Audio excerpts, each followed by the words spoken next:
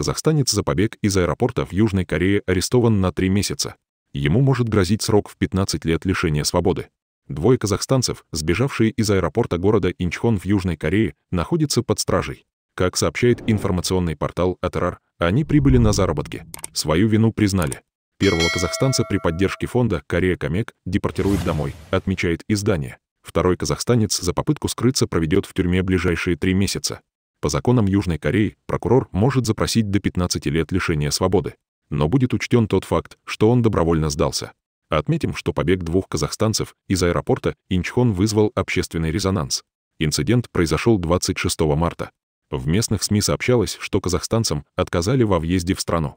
Во время ожидания своего репатриационного рейса молодые люди разбили окно автобуса, пробежали по взлетно-посадочной полосе, перелезли через забор с колючей проволокой и скрылись в неизвестном направлении.